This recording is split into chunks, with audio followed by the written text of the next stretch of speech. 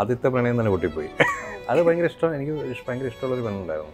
അത് ഞാൻ നമ്മൾ കോളേജ് പിടിച്ചുകൊണ്ടിരുന്നപ്പോൾ ഞാൻ അമ്മയുടെ ഒക്കെ പറയുന്നത് കണ്ടോ? എനിക്ക് ഭയങ്കര ഇഷ്ടമാണ് അപ്പോൾ അമ്മ വേണ്ട എന്നൊക്കെ പറഞ്ഞു. ആ പക്ഷേ അത് നടന്നില്ല.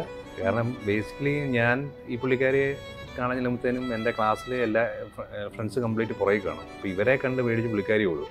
ബേസിക്കലി പിന്നെ വന്ന് എന്നെ കാണുമ്പോൾ പുള്ളിക്കാരി ഓടുന്ന ലെവലിലേക്ക് ആയിരുന്നു അങ്ങനെ പിന്നെ അത് കഴിഞ്ഞും കണ്ടിട്ടുണ്ട്. അത് കഴിഞ്ഞ് സീരിയസ് ആയിട്ടൊക്കെ ടോക്സ് ഒക്കെ നടന്നിട്ടുണ്ട്. റീസൺ പ്രണയ ഭാര്യയോട് മാത്രം. ഇനിയിപ്പോ അതെ അതെ. അതെ അതെ ആവശ്യത്തിനുള്ള പ്രണയമുണ്ട്. അത് മതി.